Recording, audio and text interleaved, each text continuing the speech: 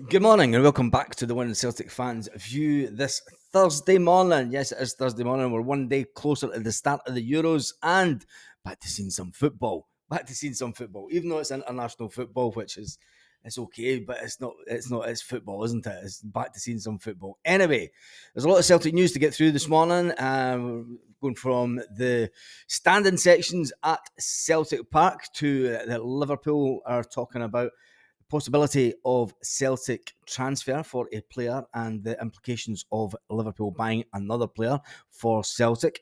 Uh, there's an exclusive about, well, it's not exclusive, but there's breaking news about the one and only Benji Siegrist. Big Benji Siegrist news and some others this morning. But first of all, let's talk about the standing sections at Celtic Park. As we're all aware, the standing section at Celtic Park is in the North Curve. The North Curve, which holds the Green Brigade and the North Curve Celtic uh, group, which is sort of a cover group for the the, the wider section. Uh, but yes, it has been the Green Brigade section for many many a years. Whether people love it or hate it, it seems to split the the Celtic fan base. Some people like the the ultras, and some people don't. Celtic have put in an application to extend a section of Celtic Park for a, a further 445 seats in the safe standing rail seat area of the southwest corner. Yes, where the boys are. So Celtic are now going to have two different standing sections if they get away with this. Um, uh, that obviously the history behind the, the Green Brigade and the boys obviously splitting up was uh, back in the day when they were called the SMV and they've done the graffiti stuff and they basically lit off flares in the ground when they weren't meant to and they ended up falling out with the Green Brigades. Yes, they fell out with the Green Brigade and that's why they have their, their own little sections and they call themselves the boys now. Uh, but they are looking to get their own standing section within inside Celtic Park. How do you feel about that? How do you feel about two different standing areas within Celtic Park? Um, wouldn't it be better just putting them both together? And they, stand together at away games uh, and at Hampden, etc. Um, you'd think that Celtic would just go right. Let's just, but then it does add to the atmosphere at both ends of the stadium because let's face it.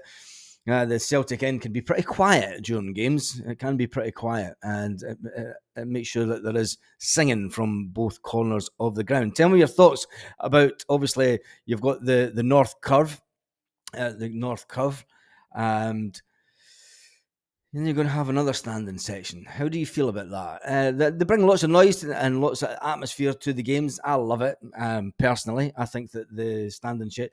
I mean, should be going for the Celtic end, like what the Green Brigade and the boys wanted a few years back, and that was tested out during a Scottish football women's game? Would you like to see the Celtic end more? Than two standing sections. Maybe this is a way of them sort of slowly implicating uh, into the one area. But then again, there's not many people that sit, and you've obviously got uh, some corporate in the Celtic end. Also, they, they wouldn't move the corporate. So I think it's a it's a it's the lesser of two evils as far as Celtic concerned, um, and it, it does get a a lot of people around the ground singing. So anyway, the Celtic want to replace existing seats with a safe standing rail seating area in the southwest corner to a total number of seats of 455. And the application has been lodged with Glasgow City Council. So yeah, that is uh, that's big news uh, with regards to the boys. Um, it's interesting. It is interesting. I might actually just message somebody just now just to see what it is all about. Now, there's news coming out of Liverpool this morning with, that is uh, regarding Celtic and, and would affect Celtic in one way or another. Is the fact that the Liverpool Echo are talking about Liverpool have a double Jeremy Frimpong transfer advantage, it says, with Celtic clause explained. Reports from Germany have supported have suggested that Liverpool are considering a move for Bayer Leverkusen star Jeremy Frimpong. And we all know that Celtic do have that clause. A move for Frimpong could benefit Liverpool in more ways than one. If Arne Slot's side can pull off this summer deal, it's been said. I said they look to take uh, they look to try and take advantage of a 35 million release clause, which ends soon. So it looks like that release clause ends at the end of this summer. Hence the reason that clubs are going to try and take advantage of it before his price tag goes up even more. But Frimpong played a, a, a, fantastic role Bayer Leverkusen, going undefeated to win the Bundesliga for the first time in their history, finishing the season remarkable 17 points, clear of their second place Stuttgart, and 18 clear of Bayern Munich. Uh, it goes on to say that uh, it seems that the 23 year old would be open to an Anfield switch, having made his his feelings about the transfer when speaking to Ziggo Sport earlier this year. He said Liverpool are a great club with a great history. Uh, it then goes on to say about the Celtic connection. He says, starting out his career at Manchester City, Frimpong was sold to Celtic in 2019 after failing to make a first team appearance under Pep Guardiola. After two seasons in Scotland, the Amsterdam-born star took advantage of a new challenge in in Germany. Another transfer is on the cards this summer. Celtic are set to benefit in the same way City did back in 2021, and after negotiating a 30% sell-on clause when selling to the Scottish Giants. It is understood that Celtic these days managed by former Liverpool manager Brendan Rodgers, due to receive a 30% profit made on the Netherlands international if Leverkusen cash in on their prize asset. So, what does it mean for Liverpool? Well, this is where it gets interesting. Such a fee could be problematic. Um, for Celtic. Celtic could believe to be still looking at Kelleher, who's expected to move over the coming weeks as he searches for a number one role elsewhere. Liverpool rejected a 15 million offer in January for the player. They value him at more than that. Such a fee could be problematic for Celtic, whose club record spend stands at 9 million. Although they would be in line to earn approximately 7 million if the Frimpong release clause is triggered during the transfer window. This capital could subsequently be used towards an ambitious swoop for Kelleher, who is resigned to the fact that he's stuck behind Alice Alisson Becker uh, in the goalkeeping pecking order. Celtic are on the lookout for a new goalkeeper, and we all know that Celtic are in talks with the Newcastle goalkeeper also at this time. Um, but it looks like they will be needing another keeper because there's big Benji Siegrist news coming in this video. Also, big Benji Siegrist news. So um, anyway it's all up in the air. It's all it's all going in the right direction. There obviously there's a lot of balls getting juggled about at the moment by Celtic, and they're um, they're trying to see which one they could land. Uh, Newcastle, the Newcastle one, uh, Eddie Howe is willing to uh, sanction a transfer for the Newcastle goalkeeper Martin Dúbravka, and um, I'm just getting a message that something needs to be done. Overcrowded and the seats are fucked. So that's just had a message from one of the boys lads, and let me just get WhatsApp back up. Um, and he has said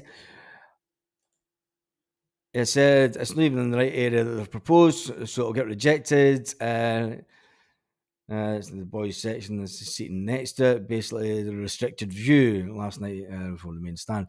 Something does need to be done because it is heavy, overcrowded in that section, and the seats are fucked, as he says. Anyway, that's uh, that's an update from the, one of the boys lads, and it's good to get the inside information on that whilst we're doing the video. Anyway.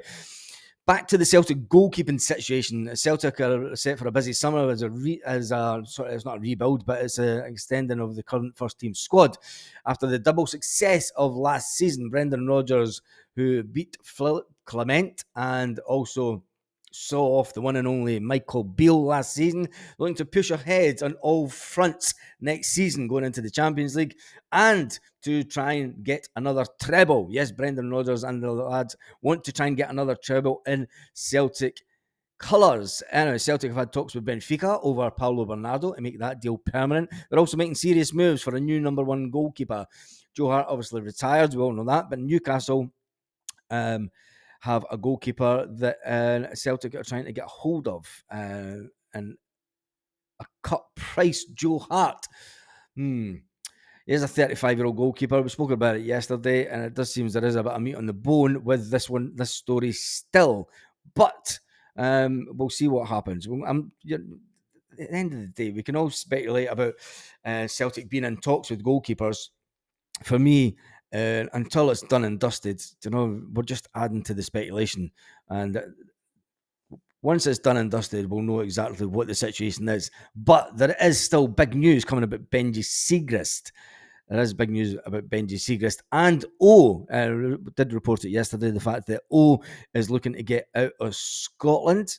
um, which is, I, I think, would you not be better trying to fight for his position? Oh, oh, wants out. Um, he's not he's not the player Adam Idah is, and but it said that uh, he's actually come out and well, supposedly, um, he wants to actually leave Celtic now. Um, was in the squad for just three of the 11 remaining 11 Scottish Premiership games, and he saw just 10 minutes of action in four months, dropping out the squad. Um, obviously, because Adam Idah was there. Hmm. Over his Celtic career so far, um, over the two seasons that he's been at Celtic. He has had 47 appearances. He's had six starts. He's only started six times. He's had 12 goals and 40, 47 appearances. He's had no assists and he's had it's 109 minutes per goal.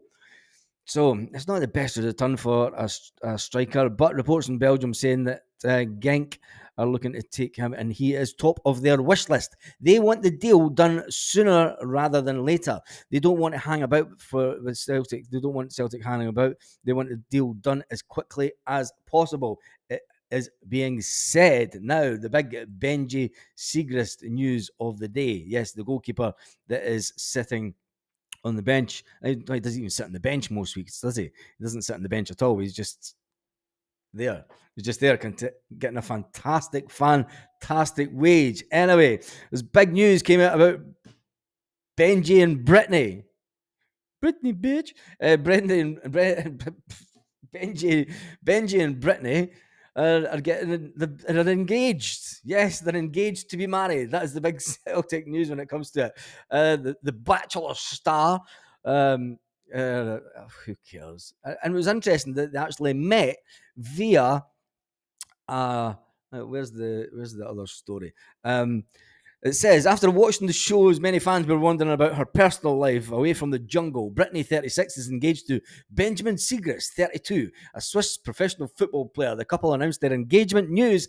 They were engaged via Instagram, as, as people do in this day and age. You know, just like, yeah. Anyway, uh, it's in any lifetime, it's a yes, she wrote. Just two people loving each other for the rest of our lives.